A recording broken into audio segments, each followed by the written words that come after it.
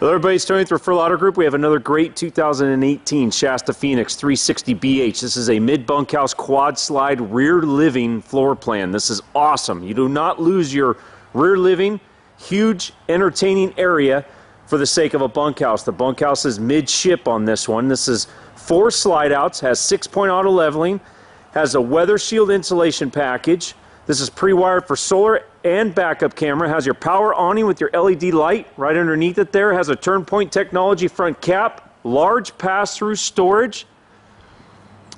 Don't know if I said it, but here I go again. Six-point auto leveling. You'll notice it has nice blue LED lights underneath the bedroom slide out. Keep anyone from bumping their head. 10-gallon water heater. Two air conditioning units that are both on a thermostat. Centrally ducted. Here's three of your slide outs here. There's your mid bunkhouse. You can see the two windows, top and bottom there. So you walk around, you have your Dexter E-Z Flex axles. This does have the brackets for a rear hitch if you choose to add one. There's your backup camera bracket there. This does have the Azdel composite sideboard construction. Very, very shiny, glossy, metallic graphics. There's your digital antenna sitting up there. Back up, you can see both your air conditioners. Definitely has plenty of uh, cooling power and heating.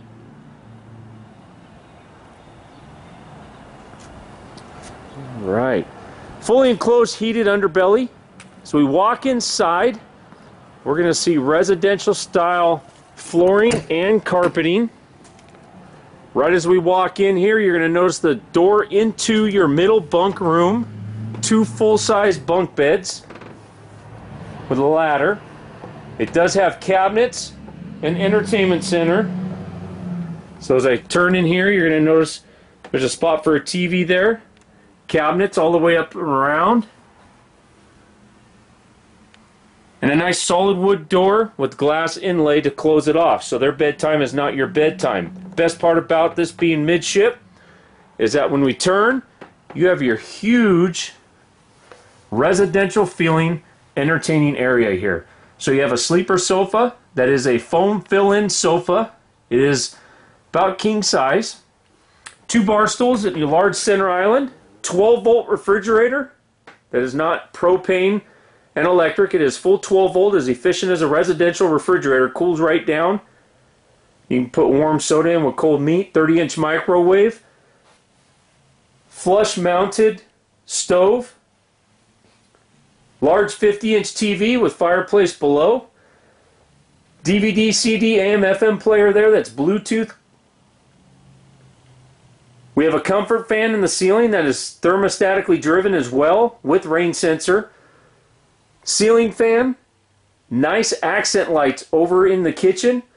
There's your buffet with your kitchen sink in it. Up and over, you got tons of cabinets, tons of drawers, no lack of storage. Hidden trash can right there to the left of the stove. Cabinet in the island as well. Freestanding dinette. There's your theater seating. All Thomas Payne collection. This has all the roller blinds that will black it out, but they're not black, so you don't get claustrophobic, and it doesn't attract the heat, but it does not silhouette you or let daylight through like the pleated nightshades. As we walk through, we're going to go up two solid surface steps. If you've had carpeted steps, you'll know it breaks down very, very fast on the on the uh, stepping surfaces, so that's nice that they are solid surface. As we pass through, we are going to go into the bedroom where you have your full walk around 60 by 80 queen bed. Windows at both sides of the head. There's a wardrobe there. There's your louvered door that is another wardrobe or it is plumb for washer and dryer. It does have blue LED lights in it. And a second wardrobe. Residential style dresser right here underneath the window. And your carpet has residential grade padding underneath it. Very, very comfortable. There's your pocket door closing off the bedroom to the rest of the living area. There's your second air conditioning unit. And you've got a total of four vents up here in the bedroom. There's also speakers up here in the bedroom that run off of that main entertainment center.